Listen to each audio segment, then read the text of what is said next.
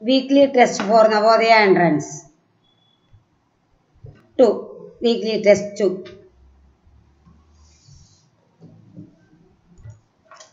First question. A man takes 3 days to walk 45 kilometers.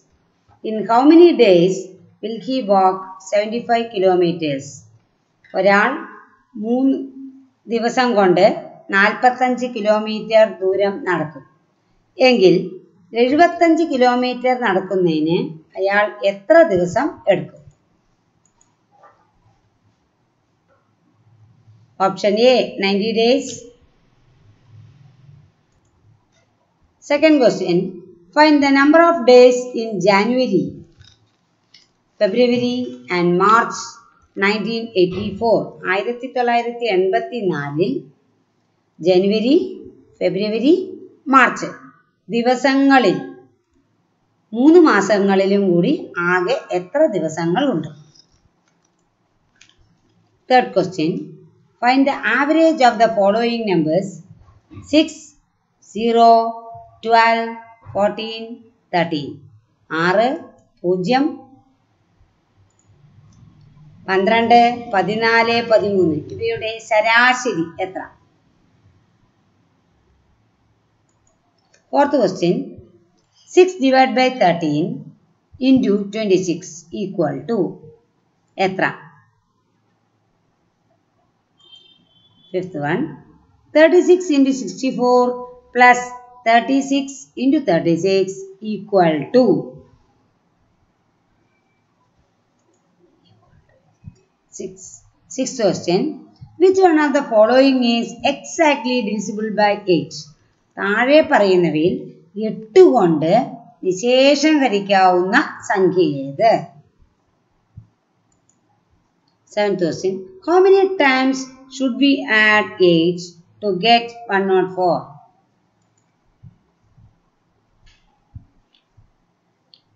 question. The next number in series 1, 2, 4, 8 dash is അടുത്ത number കണ്ടുപിടിക്കാം.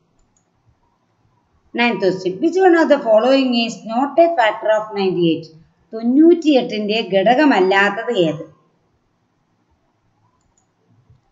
Tenth question how many days are there from the beginning of March to the end of May March ഒന്നാം തീയതി മുതൽ March തുടക്കം മുതൽ May അവസാനം വരെ എത്ര ദിവസങ്ങൾ ഉണ്ട് ചോദ്യങ്ങൾ നല്ലതുപോലെ വായിക്കുക. പരീക്ഷ നോട്ട്ബുക്കിൽ വൃത്തിയായി ചെയ്ത് നോക്കിയതിന് ശേഷം ഓപ്ഷൻ ക്ലിക്ക് ചെയ്യുക. വീഡിയോ കണ്ടതിന് ശേഷം താഴെ weekly test two എന്നുള്ളവിടെ please for writing the exam please open the link എന്ന് പറഞ്ഞ് ഒരു ലിങ്ക് അവിടെ കൊടുക്കുന്നുണ്ട്. ആ ലിങ്ക് ഓപ്പൺ ചെയ്യുമ്പോഴാണ് നിങ്ങൾക്ക് പരീക്ഷ എഴുതാൻ കഴിയുക. അപ്പം എല്ലാവരും ചോദ്യങ്ങൾ നല്ലതുപോലെ ശ്രദ്ധിക്കുക.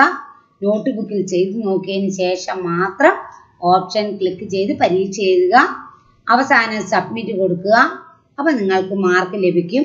നിങ്ങൾക്ക് മാർക്ക് ലഭിക്കുന്നതോടൊപ്പം എനിക്കും ഇവിടെ മാർക്ക് ലഭിക്കും. ആരും പ്രത്യേകിച്ച് മാർക്ക് അല്ലെങ്കിൽ പരീക്ഷ ഫോട്ടോ എടുത്ത് അയക്കേണ്ടതില്ല. നല്ലതുപോലെ ശ്രദ്ധിക്കാം നാളെ രാവിലെ വരെ സമയമുണ്ട്. ഒരാൾ ഒരു പ്രാവശ്യം മാത്രം പരീക്ഷ എഴുതിയാൽ മതി. ഓക്കെ